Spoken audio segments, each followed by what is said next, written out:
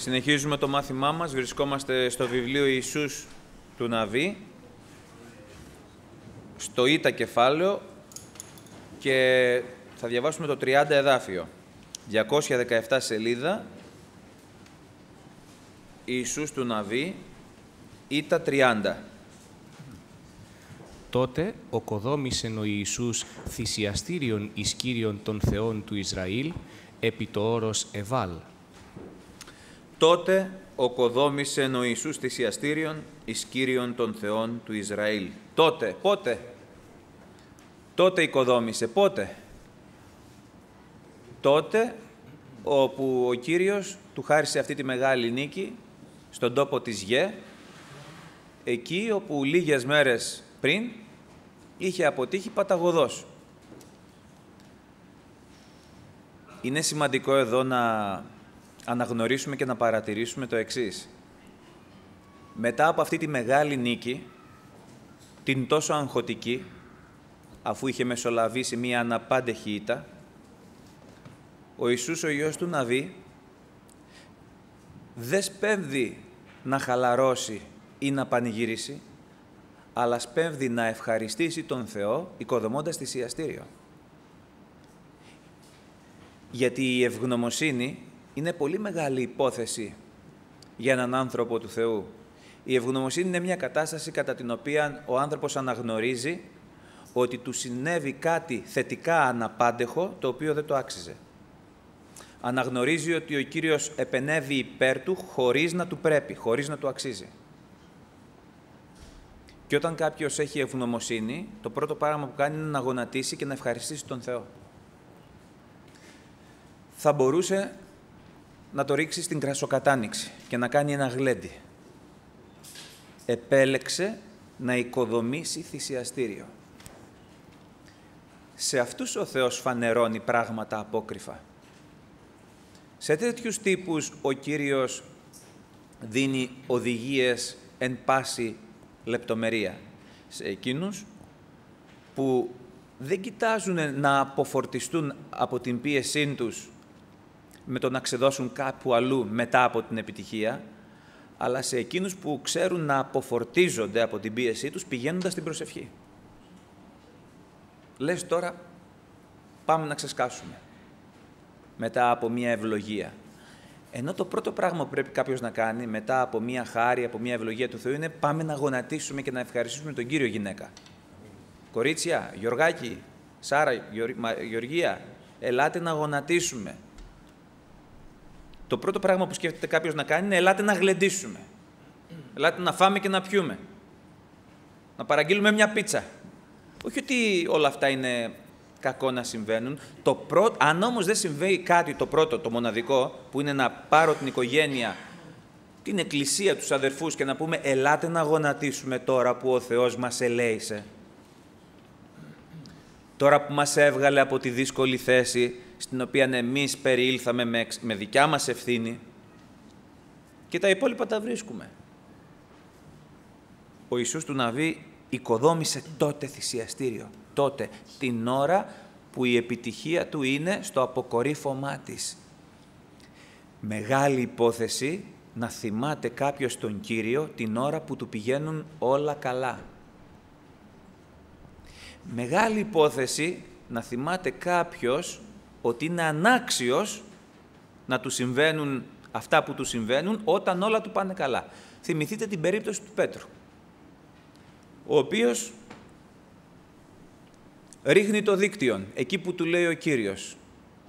Στο ίδιο ακριβώς σημείο όπου την προηγούμενη βραδιά είχε αποτύχει. Και τώρα δεν ξέρει πού να βάλει τα ψάρια. Και τι πάει να κάνει; Ρίχνει όλο το ενδιαφέρον στα ψάρια; Η καρδιά του ελκύεται από το γεγονός, ώστε να αγωνιά που θα βρει δίχτυα για να τα χωρέσει. Παρατάει και τα ψάρια, παρατάει και τη μέρημνα των ψαριών, παρατάει την αγωνία, πού θα τη βάλω την επιτυχία μου, πού θα τη βάλω. Και πάει και πέφτει στα γόνατα του Κυρίου και λέει, έξελθε λέει από του υπηλίου μου, εγώ είμαι αμαρτωλός άνθρωπος, δεν είμαι άξιος να ένας άνθρωπος που αντιλαμβάνεται πόσο αμαρτωλός και ανάξιος είναι όταν τον ευλογεί ο Θεός. Μεγάλη λοιπόν υπόθεση. Το πρώτο πράγμα που να βγαίνει στην καρδιά μας μετά από κάθε επιτυχία του Θεού ή κάθε χάρη που μας δίνει ο Θεός, να βγαίνει στην καρδιά μας το πρώτο πράγμα είναι και η αναξιότητά μας και η αμαρτωλότητά μας και η ανεπαρκία μας. Οικοδομή λοιπόν θυσιαστήριων.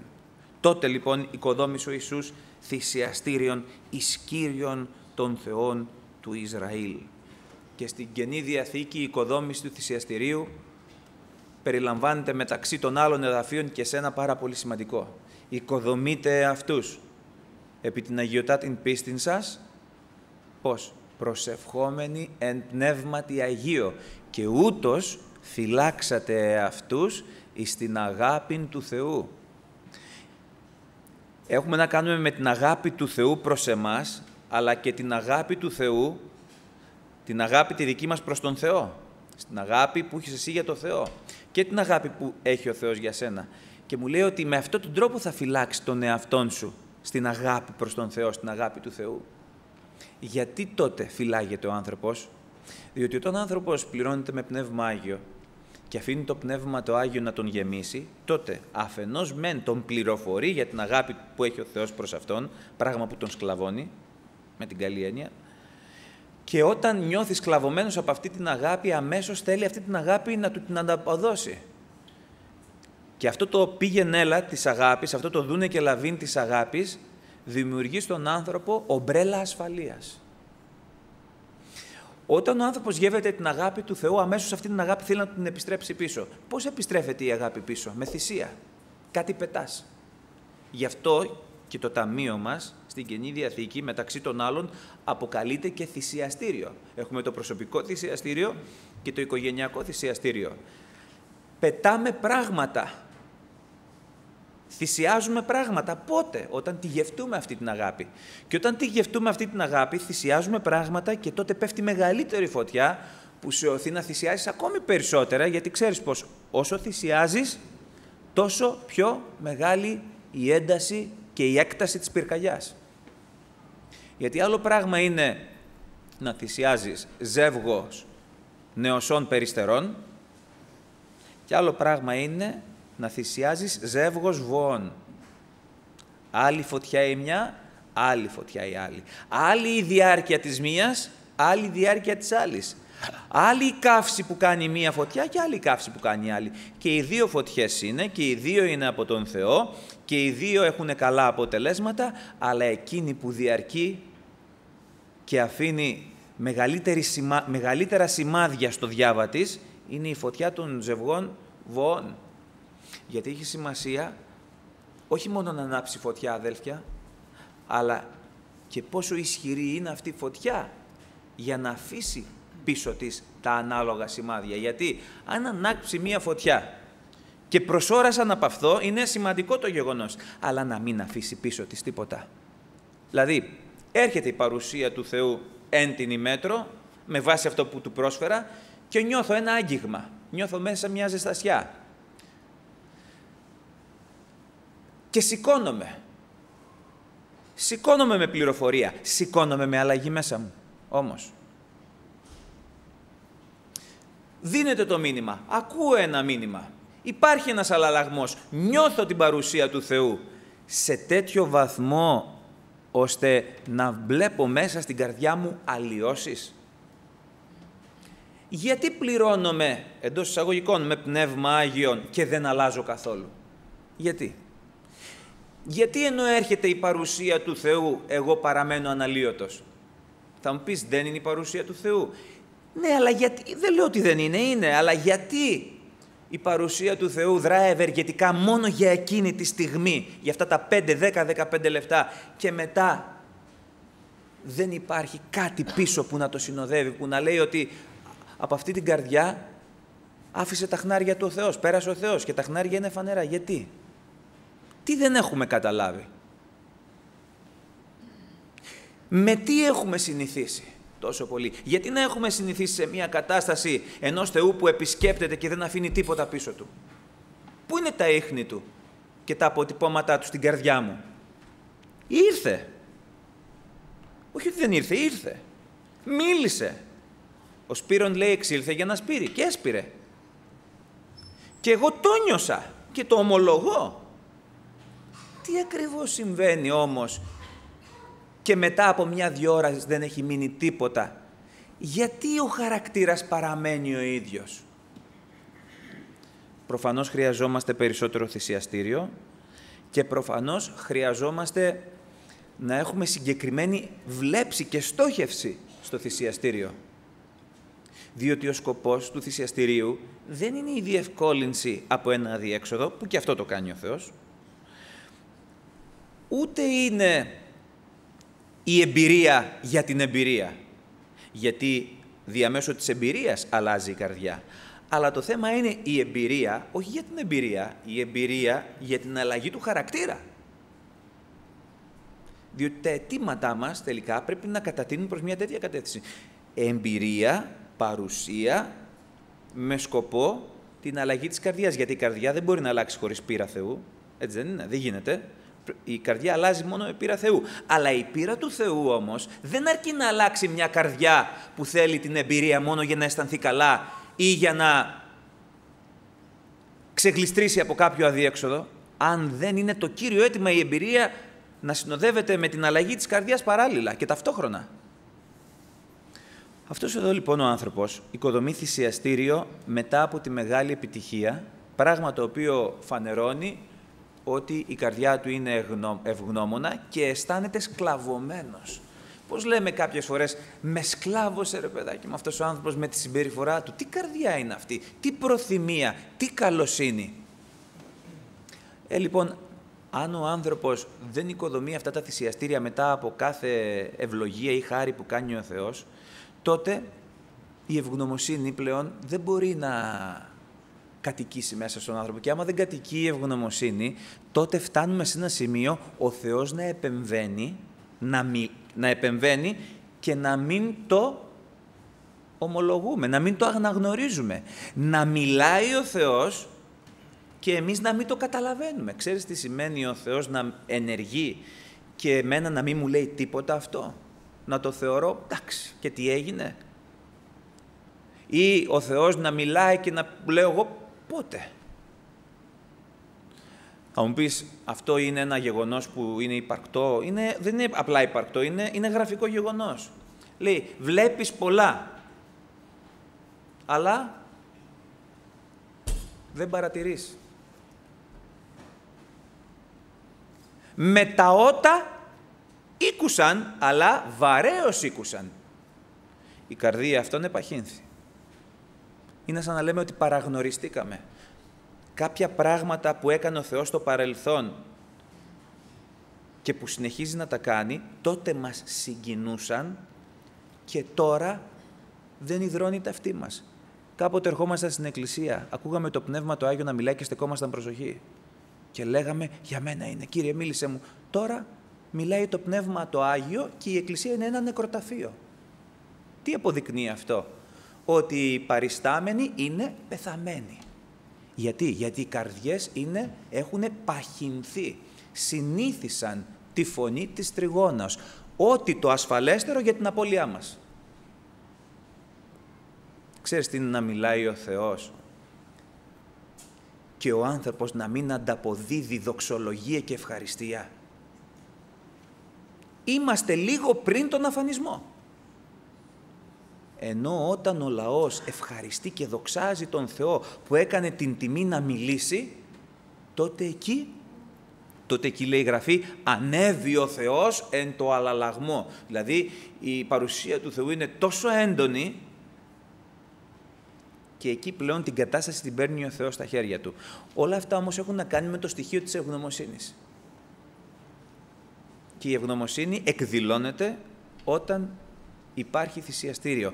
Και αυτό συμβαίνει σε εκείνους που έχουν καταλάβει. Και εκείνοι που έχουν καταλάβει είναι εκείνοι που η πρώτη τους δουλειά μετά από την όποια επιτυχία που τους χάρισε ο Κύριος είναι να πάνε να γονατίσουν εκείνη τη στιγμή και όλα τα άλλα να τα αφήσουν στην άκρη και αφού ευχαριστήσουν και δοξάσουν και υμνήσουν το Θεό, τότε να πάνε να κάνουν ό,τι πρέπει να κάνουν. Οικοδόμησε λοιπόν ο Ιησούς θυσιαστήριον εις Κύριον των Θεών του Ισραήλ επί το όρος Εβάλ. Δεν είναι ότι οικοδομεί θυσιαστήριο. Είναι και πού πάει να το οικοδομήσει. Έλα γυναίκα, εντάξει, έλα να γονατίσουμε λιγάκι εδώ πέρα έτσι. Δύο-τρία λεπτά. Μην πει και ο Κύριος ότι τον ευχαριστήσαμε. Δύο-τρία λεπτά. Μπαμπά, πόση ώρα θα προσευχηθούμε; Ε, Τρία-τέσσερα λεπτά. Δεν ξέρω αν συμφωνείς, αγόρι μου. Δεν ξέρω αν συμφωνείς. Μπορούμε να το κάνουμε τα τέσσερα λεπτά, να τα κάνουμε δύο. Μου το είπε μια μέρα ένα παιδί. Του λέω σιγά μη σου βάλουμε και συμβόλαιο. Πόση ώρα θα. Ω, θα γονατίσουμε μέχρι που να γονατίσει η καρδιά μας. Άμα δεν θέλεις, πήγαινε στο δωματιάκι σου, παιδάκι μου. Δεν στηριζόμαστε σε σένα, μα το παιδί μη το στενοχωρήσουμε. Ας το στενοχωρήσουμε. Α το στενοχωρήσουμε. Θέλω να σας διαβάσω κάτι που δεν θα το προλάβουμε σήμερα, ίσως, για να καταλάβετε για, την για, για, για, τη μεγαλύτερη ιδεολολατρία στο, στο χώρο της Εκκλησίας που είναι τα παιδιά. Η, με, η μεγαλύτερη ε, ενεξελίξη σύγχρονη ιδεολολατρία έχει να κάνει με την συμπεριφορά των γονιών με τα παιδιά. Κοιτάξτε να δείτε τι γίνεται στη 218 σελίδα. Θα το ξαναδιαβάσουμε, αλλά τώρα επειδή μου ήρθε. Ε, λέει Λοιπόν, λέει στο 35 εδάφιο, το διαβάζω εγώ, γιατί δεν θέλω να το σχολιάσω, μόνο θα το διαβάσω. Δεν είναι το λόγος εκ πάντων όσα, μάλλον όχι, από το 34, και πάντα τα αυτά ανέγνωσε, πάντα στους λόγους του νόμου, τας ευλογίες και τας σκατάρας, προσέξτε, τας σκατάρας, κατά πάντα τα γεγραμμένα εν το, νόμο, εν το βιβλίο του νόμου.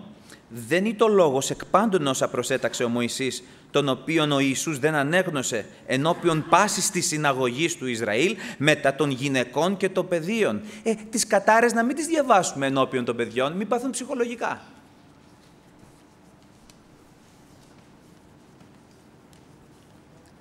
Δεν συμβαδίζει με τη σύγχρονη παιδαγωγία να μιλάμε για κατάρες μπροστά στο παιδί, ότι τις δίνει ο Θεός, ότι είναι γεγραμμένες στο λόγο. Επανέρχομαι πάλι πίσω. Επί το όρος Εβάλ, λοιπόν, γίνεται το θυσιαστήριο. Επιλέγει δηλαδή να πάρει την ανηφόρα. Γιατί είναι γεγραμμένον ότι «Σύ που φέρνεις αγαθές αγγελίες στην Σιών, αν θέλεις να λάβεις αγαθή αγγελία, θα ανέβεις μόνο επάνω στο όρος. Δεν γίνεται αλλιώς, γιατί στο όρος, που είναι μια κατάσταση ύψωσης, είναι μια κατάσταση δηλαδή πνευματικής ανύψωσης, χάριτος, επειδή υπάρχει ύψωμα, βλέπεις την πραγματικότητα από το ύψος του Θεού. Δηλαδή από την κορυφή του όρους, όχι από τα παιδινά. Και ο Κύριος έκανε θαύματα, λέει, και κάθιτο, πού εκάθιτο; Στην κορυφή του όρους. Και την επί του όρους ομιλία, δηλαδή τις οδηγίες για την πνευματική ζωή, που τις έδωσε επί του όρους. Δηλαδή, ο Θεός μιλάει επί του όρους και ενεργεί επί του όρους. Και ξέρει ο ευγνώμων άνθρωπος ότι ο Κύριος ευαρεστείται όταν πηγαίνουμε και εμείς επί του όρους. Και παρά το γεγονός ότι θα μπορούσε να στήσει ένα θυσιαστήριο στην Παιδιάδα, δηλαδή να κάνουμε μία προσευχή τώρα, ένα πεντάλεπτο, δεκάλεπτο, και μετά να βάλουμε να δούμε το Κροατία-Κωνσταντίνα. Να δηλαδή τα έχουμε όλα, δηλαδή και το ένα να έχουμε και το άλλο. Εδώ όμως βλέπουμε ότι αυτός πάει στο όρος επάνω.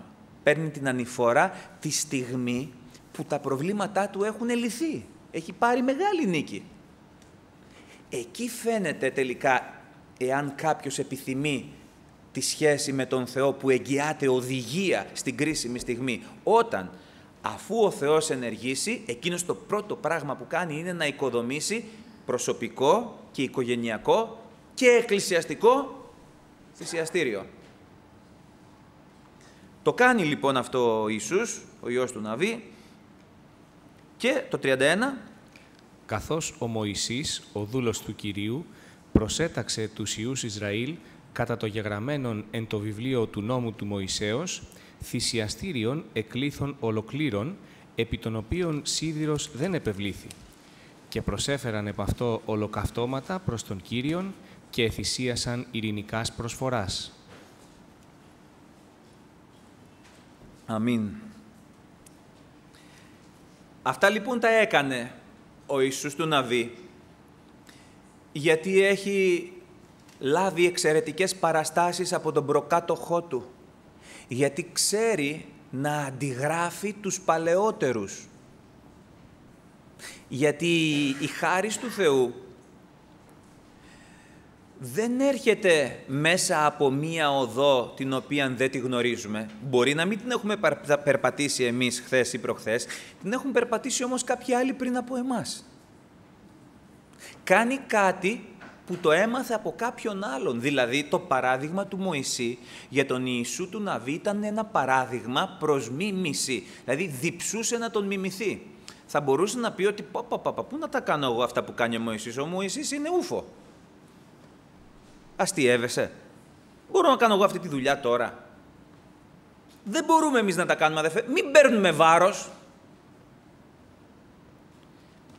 Και πράγματι, όταν υπάρχει ένα πετυχημένο παράδειγμα, το οποίο έχει από πίσω του όμως μία διαδικασία που οδήγησε σε αυτό το αποτέλεσμα. Εάν εγώ δεν θέλω τη διαδικασία, τότε είναι δεδομένο ότι δεν θα με ελκύσει ούτε το αποτέλεσμα. Τον Ιησού του Ναβί όμως,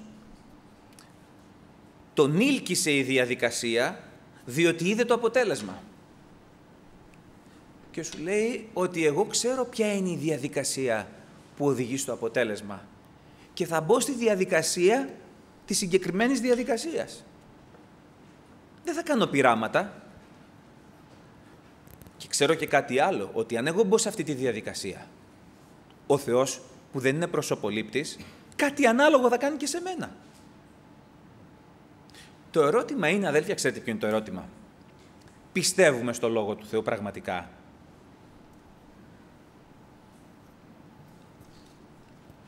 Ίσως οι πιο άπιστοι στον κόσμο αυτό να είναι οι χριστιανοί της αναγέννησης και της βάφτισης του Πνεύματος του Αγίου. Ίσως. Το αν είμαστε πιστοί ή άπιστοι φαίνεται από το κατά πόσο έχουμε όρεξη να πλησιάσουμε τον Θεό με αυταπάρνηση, με πόθο και με την καλώς εννοούμενη, συγχωρέστε μου την έκφραση, με την καλώς εννοούμενη αγωνία. Είναι η αγωνία της συνάντησης του αγαπημένου προσώπου η Γραφή από όλες τις πλευρές της μας διαβεβαιώνει ότι, ότι κάθε γνήσια και ειλικρινή προσπάθεια αυταπάρνησης πλησιάσματος του Θεού είναι θέμα χρόνου να οδηγήσει στο αποτέλεσμα του Κυρίου, όχι στο αποτέλεσμα το δικό μου. Και το αποτέλεσμα του Κυρίου είναι κάτι να πει ο Θεός, κάτι να κάνει ή κάτι, κάτι να με κάνει να νιώσω.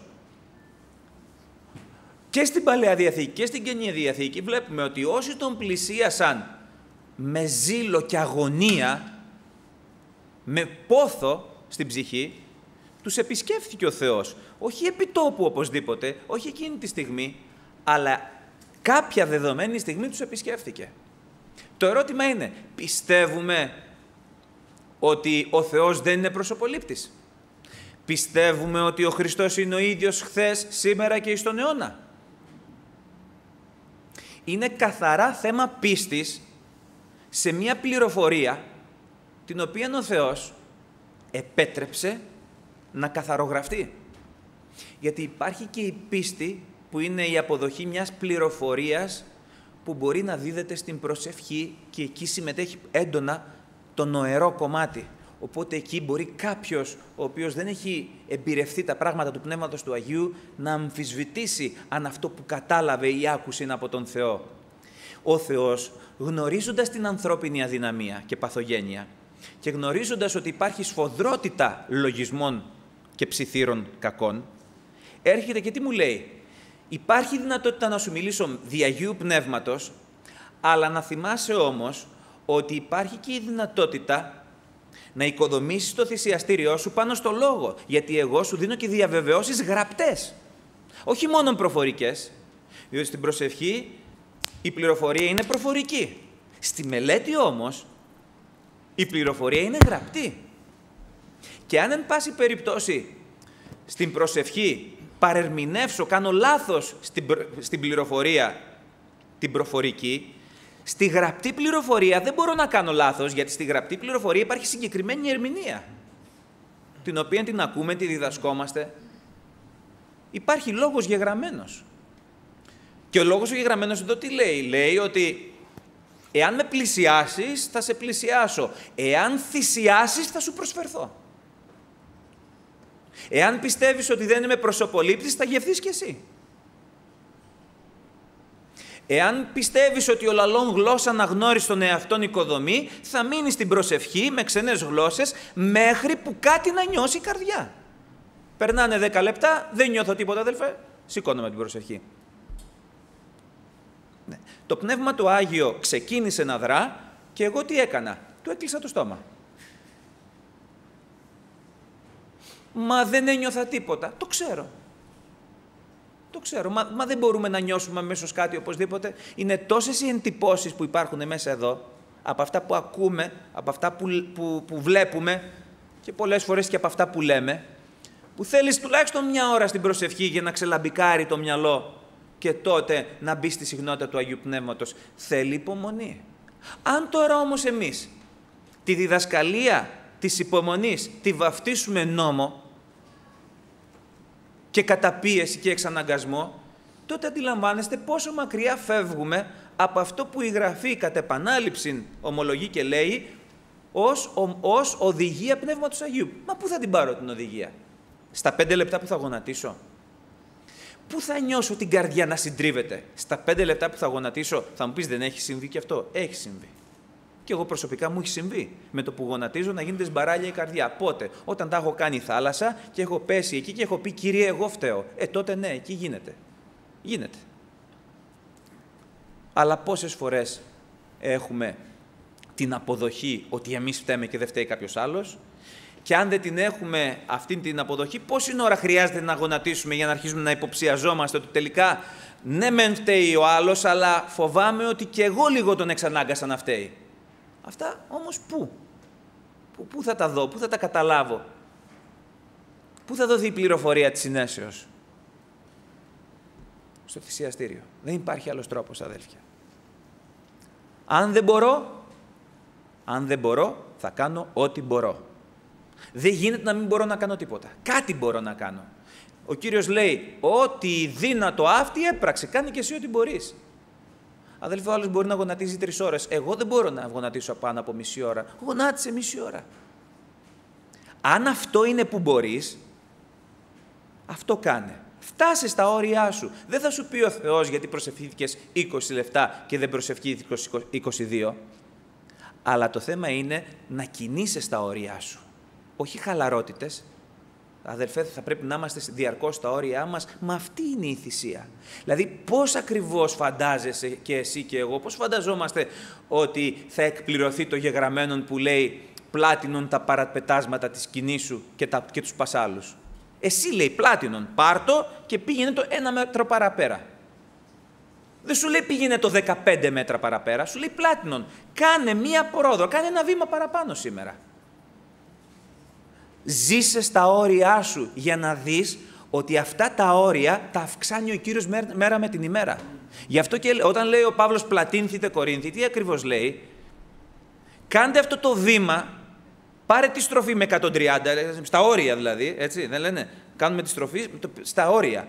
Πάρε τη στροφή στα όρια και θα δεις ότι τελικά ο Θεός εκεί το όριο αυτό θα στο αυξήσει. Θα καταλάβεις δηλαδή ότι με τη χάρη τη δική του το όριό σου αυξάνει και εκεί έρχεται και η αύξηση. Ποια αύξηση; Η αύξηση της επίγνωσης. Η αύξηση της επίγνωσης πότε έρχεται; Όταν φτάνω στα όρια μου. Οι μαθητές έφτασαν στα όρια τους. Στα όρια της ψυχικής και σωματικής τους αντοχής. Όταν είδαν τον Κύριο να περπατάει πάνω στη θάλασσα και ομολόγησαν «Υιός Θεού το όντι είσαι». Αδέλφια, μη φοβόμαστε να εργαζόμαστε, να υπηρετούμε και να εξητούμε στα όρια μας. Μη το φοβόμαστε. Εάν παίζεις στο άκρον του ορίου σου, να είσαι βέβαιος ότι αυτό το λίγο παραπάνω που θα σου δώσει ο Θεός θα είναι μια ευλογημένη αποκάλυψη που θα σε στηρίζει για το παρόν και για το μέλλον. Γιατί οι επιγνώσεις έρχονται πάντοτε όταν οι μαθητές βρίσκονται στα όρια τους και της ψυχικής και της σωματικής τους αντοχής. Και αυτό δεν είναι ένα καψόνι το οποίο το κάνει ο Θεός γιατί αρέσκεται να μας ταλαιπωρεί, είναι ο τρόπος με τον οποίο αποκαλύπτεται στον άνθρωπο. Είναι τυχαίο ότι σε κάτι τέτοιους καμικάζει ο Θεός έκανε θαυμάσια. Δεν έχω δει ποτέ εγώ κανέναν μέσα στην Αγία Γραφή να λαμβάνει οδηγίες, να βλέπει θαύματα στη ζωή του και να είναι σε μια κατάσταση νιρβάνας ή, ή χλιαρότητος ή, εντάξει ρε παιδί μου, θα... Λοιπόν, αγάπη μου, πόση ώρα να προσευχηθούμε, εγώ λέω να προσευχηθούμε δύο ώρες. αγάπη μου, εγώ λέω να προσευχηθούμε δέκα λεπτά. Ωραία. Δύο ώρες δια του δέκα λεπτά, ε, ε, θα, ωραία, θα το κόψουμε στη μέση. Θα μου πεις, από το να μην γίνεται καθόλου, ας γίνεται και αυτό. Καμία αντίρρηση και εγώ λέω αμήν. Αλλά εάν θέλουμε αυτή την αποκάλυψη του ορίου, αυτή τη μοναδική αναπάντηχη αποκάλυψη που ο Κύριος την χαρίζει σε εκείνους που εξέρχονται των ορίων τους, τότε θα πρέπει να μπούμε σε αυτή τη διαδικασία. Η Χαναναία, για παράδειγμα, γεύτηκε κάτι μοναδικό. Το παιδί της να θεραπεύεται. Γιατί; Γιατί εξήλθε έξω των ορίων της. Όχι μόνο των γεωγραφικών, αλλά και των προσωπικών, των εγωιστικών ορίων της. Γιατί όταν σου λέει ότι κοίτα να δεις, εγώ κάνω βέβαια θαυμάσια, καλά με επέλεξες ως θαυματουργό, αλλά δεν πρέπει να ξεχνάς ότι εγώ αυτά δεν τα κάνω σε εσάς τα σκυλιά, τα κάνω στο λαό Ισραήλ. Και εκείνη αντί να σηκωθεί και να φύγει και να του πει και τίποτα, έρχεται και του λέει, αυτό είναι το μεγαλύτερο, αυτή είναι, αυτό είναι το, το, μεγαλύτερο, η μεγαλύτερη δοκιμή του άκρου της, έρχεται και του λέει ότι έχεις δίκιο κύριε, αλλά και τα κοινάρια, όπως είμαι εγώ, γιατί έχεις δίκιο ότι έτσι είμαι, τρέφονται από ψίχουλα. Ε, δώσ' μου ένα ψίχουλο.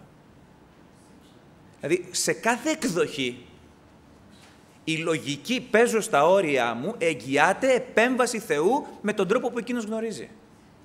Και γι' αυτό το λόγο πρέπει να πούμε ότι μας φέρνει ο Θεός πάρα πολλές φορές στην προσωπική μας ζωή, στην επίγεια βιωτική μας ζωή, σε καταστάσεις τέτοιες που είμαστε με την πλάτη στον τοίχο, δηλαδή είμαστε στο άκρον των ορίων μας. Και ποιος από εμάς δεν έχουν έρθει στιγμές, είτε για λόγους επαγγελματικούς, είτε για λόγους υγείας, είτε ίσως για λόγους οικογενειακούς, είτε δεν ξέρω εγώ για ποιους άλλους λόγους, που ο Κύριος τον έφερε σε τέτοιο αδιέξοδο, είμαι μέχρι εδώ αδερφέ, είμαι στα όρια μου. Γιατί άραγε; Γιατί; Γιατί έπαψε να υπάρχει ο Θεός, γιατί άρεσε για να με, να με βασανίζει, όχι. Γιατί στα όρια, σε, αυτή την, σε αυτόν τον, τον παρολίγων εκτροχιασμό του οριού, δηλώνει παρόν. Το πιστεύεις αυτό; Και να μην το πιστεύω, βέβαια έτσι είναι. Είτε το πιστεύω, είτε το πιστεύω. Αλλά εάν το πιστεύω, τότε και παρηγορούμε και λαμβάνω και διδασκαλία και οδηγία ταυτόχρονα. Και εκεί κάπου αρχίζει σιγά σιγά να κάνει δειλά-δειλά τα βήματά της η χάρις, εφόσον εγώ της το επιτρέπω.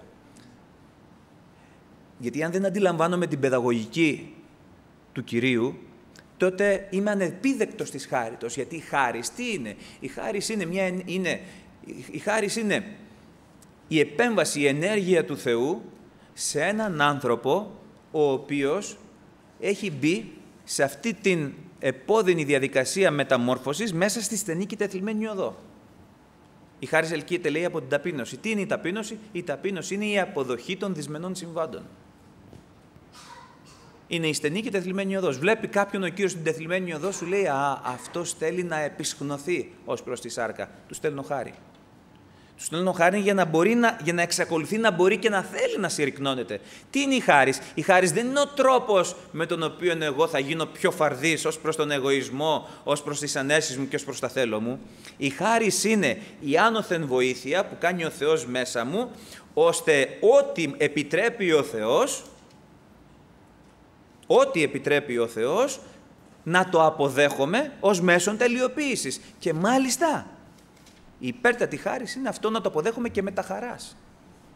Όπως έλεγε ο Παύλος, ότι εγώ χαίρομαι, ευαρεστούμε εις τας ύβρις, εις τους διωγμούς, εις τας ανάγκας, καθώς όταν είμαι αδύνατος είμαι δυνατός.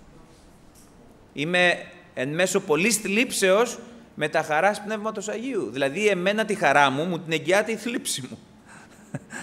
δηλαδή, αν δεν είμαι θλιμμένος, δεν μπορώ να είμαι χαρούμενος. Περίεργα πράγματα. Αλόκοτα, έτσι δεν είναι; Αλόκοτα για τον φυσικό άνθρωπο. Γι' αυτό λέει ότι ο πνευματικός άνθρωπος δίνεται να ανακρίνει τα πάντα και ο ουδενό δίνεται να ανακριθεί. Τι να ανακριθεί; Αυτού του πάνε όλα από το κακό στο χειρότερο. Και τον βλέπεις ότι χαίρεται. Και άμα πας και να του ζητήσεις, πες από τον κύριο να σε ελευθερώσει. Όχι, δεν θέλω καθόλου να με ελευθερώσει. Είμαι μια χαρά στο καμίνι μου. Γιατί μου κάνει παρέα. Υπάρχουν κάποιες σπάνιες περιπτώσεις αδελφών που δεν ζητούν απελευθέρωση από τα δεινά τους. Δεν είναι πάρα πολλοί αυτοί. Υπάρχουν όμως. Έστω και ως είδος μουσιακό έναν επαρκή, αλλά υπάρχουν. Σου λέει, Όχι, αδελφέ. Όχι. Όχι. Γιατί όταν είμαι έτσι, έρχεται η χάρη. Με δροσίζει. Και αυτό εγώ το έχω δει σε περιπτώσεις αδελφών που είναι ασθενείς, με πολύ σοβαρές ασθένειες. Ε, έχω πει, αδελφέ, να προσευχηθούμε ο Κύριος να σε θεραπεύσει. Αδελφέ, θέλω να προσεύχεσαι να έχω την παρουσία του Κυρίου. Την έχεις, την έχω. Αλλά θέλω να προσεύχεσαι να συνεχίσω να την έχω. Δεν θέλει να... Σου λέει, μην μου το πάρει αυτό που εγγυάται την παρουσία του Κυρίου. Μωρέ, πάρε μου εσύ την ασθένεια και ας μην ξανάρθει ποτέ να με επισκεφθείς εμένα, ναι. Είναι η άλλη εκδοχή. Της χάριτος. Ποια χάριτος, αυτό είναι τελικά η χάρη. Η χάρη είναι να, να απαντήσει ο Θεός σε ένα αίτημα και τελικά αυτή η απελευθέρωση να με οδηγήσει στην αποξένωση; Να για ποιο λόγο ο Παύλος δέχτηκε; Το αρκεί είσαι η χάρη μου. Άκου, χάρη σου, ποια είναι η χάρη. Να είσαι άρρωστος δηλαδή είναι η χάρη. Εγώ θα του έλεγα, ποια χάρη, κύριε, εγώ, εγώ υποφέρω. Ναι, υποφέρεις, αλλά ακριβώς επειδή υποφέρεις, γι' αυτό και εγώ σου μιλάω. Ακριβώς επειδή υποφέρεις, σου έχω δώσει τόση ανθεκτικότητα. Ακριβώς επειδή υποφέρεις, ε, μιλάς και σώζονται ψυχές. Ακριβώς επειδή, ε, ακριβώς επειδή υποφέρεις, εγώ σε ανεβάζω έως τρίτου ουρανούς και, και, και μπαινοβγαίνει στην απέναντι όχθη επειδή υποφέρεις. Αν δεν υπέφερες, δεν θα γινόντουσαν όλα αυτά σε σένα, ναι. Θα ήσουν σε ένα καναπέ και θα ήσουν στο μέσον όρο της συντριπτικής πλειοψηφίας των χριστιανών. Επειδή όμως εσύ υποφέρεις και τα αποδέχεσαι αυτό, γι' αυτό έχεις βγει έξω από το μέσο όρο. Γιατί, αδερφιά, υπάρχει ο μέσος όρος των πιστών και υπάρχει και ένα μικρό υπόλοιπο, μια θλιβερά μειοψηφία, θα έλεγα, η οποία είναι τόσο μικρή αυτή η πλειοψηφία που δεν πιάνει το όριο του 3% για να μπει στη Βουλή να εκπροσωπηθεί. Είναι εκείνοι οι οποίοι έχουν τόση πίστη ώστε να μην ζητάνε κανενός είδους διευκόλυνση. Γιατί έχουν πίστη. Και ποια είναι η πίστη; Αυτό που επιτρέπεις, Κύριε, στη ζωή μου είναι η αιτία να σε νιώθω δίπλα μου και να μου μιλάς. Μη μου το πάρεις. Γιατί έχει πίστη. Την έχετε ακούσει ποτέ αυτή την εκδοχή της πίστεως; Πίστης είναι, κύριε, θέλω να είσαι μαζί μου και επειδή έχω καταλάβει ότι είσαι μαζί μου εξαιτίας αυτών που επιτρέπεις, δεν θέλω να μου αλλάξεις ούτε το περιβάλλον, ούτε να, με, να μου δώσεις κάποια ανάσα βαθύτερη σε σχέση με αυτά που περνάω, γιατί φοβάμαι ότι άμα αυτά μου τα πάρεις, θα μου φύγεις κι εσύ. Όχι γιατί θα θέλεις εσύ να μου φύγεις, αλλά γιατί η δικιά μου η καρδιά θα χαλαρώσει. Τι ωραία πίστη είναι αυτή. Πόσο μακριά απέχω. Δεν ξέρω εσύ αν απέχεις, αλλά πόσο μακριά απέχω. Πόσο μακριά απέχω, Χριστέ μου. Δόξα στο Θεό. Βέβαια και στο μέσον όρο να είμαστε, τουλάχιστον να μην είμαστε εκτός εκκλησίας. Ας είμαστε έστω στο μέσον όρο. Αλλά αν κάποιος θέλει αυτό που λέμε, γιατί μιλάμε, προσέξτε τώρα, μιλάμε για οδηγία Αγίου Πνεύματος. Η οδηγία Αγίου Πνεύματος δεν είναι μικρή υπόθεση, ώστε να την θεωρούμε σαν κάτι απλό μιλάμε για παρουσία Θεού τόσο έντονη, η οποία να με σφραγίζει και να με χαράζει κατά τέτοιον τρόπο, ώστε να με μεταμορφώνει. Ναι, αυτό όμως δεν χαρίζεται, ούτε προσφέρεται ακόπως και χωρίς θυσία. Μπαίνει λοιπόν ο άνθρωπος σε μία διαδικασία και τότε, βλέποντας ο Θεός την θέληση και τον πόθο, και τη θέληση και τον πόθο ο Θεός την βλέπει μέσα από την αποδοχή των δυσμενών συμπάντων, όχι μέσα από τις ασκήσεις πιέσεως να, αναιρέσουν, να αναιρεθούν τα συμβάντα αυτά, τότε εκεί έρχεται ο Θεός και με αυτούς κάνει ιδιαίτερα πράγματα. Η Εκκλησία των Αποστόλων και όσους ο Θεός χρησιμοποίησε διαχρονικά και μέσα στην Αγία Γραφή, αλλά και τους πρώτους δύο-τρεις αιώνες και πάντοτε ήταν άνθρωποι οι οποίοι ήταν έξω από το Μέσον Όρο. Φαντάζανε αλόκοτοι στους υπολείπους. Αφύσικοι, περίεργοι, παράξενοι. Και όμως, με όλους αυτούς εργάστηκε ο Θεός. Γιατί, διότι είχαν ένα γραφικό χαρακτηριστικό. Είχαν κυριολεκτικός και πραγματικός αρνηθεί τον εαυτό τους. Γιατί έτσι είπε ο Κύριος. Όστις θέλει ο πίσω μου ελθύν. Εάν λοιπόν κάποιος δεν φορτωθεί το σταυρό του, τα αιτήματά μας συνήθως είναι να αποφορτωθούμε το σταυρό μας. Θα μου πεις είναι κακό αδερφέ. Δεν είμαι εις θέση να πω τι είναι καλό και τι κακό φοβάμαι. Πάντοτε ο Θεός μας δίνει δικαίωμα και μας δίνει την ε, δυνατότητα να ζητάμε αιτήματα, τα οποία να μας ε, αναπαύουν από το φορτία, γιατί δεν έχουμε φτάσει στην, ε, στην πνευματική εκείνη κατάσταση που θα έπρεπε. Και αυτό ο Θεός το δέχεται. Γι' αυτό και να ζητάμε. Αν δεν μπορούμε να ζητάμε. Αν δεν μπορούμε να το πιάσουμε αυτό ή αν δεν μπορούμε να το πλησιάσουμε, μέχρι να το πλησιάσουμε, να ζητάμε. Αλλά όμως μας λέει ότι αυτός ο οποίος δεν φορτώνει το σταυρό του και δεν αρνείται τον εαυτό του, λέει δεν δύναται να με ακολουθεί. Δηλαδή δεν μπορεί να έχει επαφή με τα χνάρια μου. Δηλαδή δεν έχει όραση. Και εγώ σήμερα τι πρέπει να κάνω, αδελφέ, ψυχοπλακώθηκα. Το πρώτο πράγμα που πρέπει να κάνω είναι να παραδεχτώ ότι δεν έχω όραση. Και να πενθήσω γι' αυτό. Και όπως μας είπε ο Κύριος στην επίσης του όρου στην ομιλία, μακάρι οι πενθούντες. Γιατί; Γιατί αυτοί θα παρηγορηθούν. Και μπορεί να μην μπαίνω στην απέναντι όχθη με τη συγνότητα που έμπαινε ο Παύλος, αλλά έχοντας επίγνωση της καταστάσεώς μου και πενθώντας για αυτή, θα γεύουμε τις παρηγορίες του Θεού και αυτές οι παρηγοριές είναι τόσο ισχυρές, τόσο γόνιμες, που μου δίνουν τη δυνατότητα να παρηγορώ και τους άλλους. Γιατί λέει η Γραφή ότι εμείς οι οποίοι παρηγορήθημεν υπό του Κυρίου, παρηγορήθημεν δια να παρηγορούμε και τους έχοντας ανάγκη να παρηγορηθούν. Ας έχει δόξα το όνομα του Κυρίου. Ας πάμε στα γόνατα αδέλφια και ας αφήσουμε το Πνεύμα το Άγιο να σκάψει βαθιά μέσα μας και εκεί μέσα θα δούμε πράγματα τα οποία εκ πρώτης όψης μπορεί να μας στενοχωρήσουν, αλλά αυτή η στενοχώρια τη μετατρέπει ο Θεός σε χαρά πάλι δια του Πνεύματος του Αγίου. Ο Κύριος να μας ευλογήσει.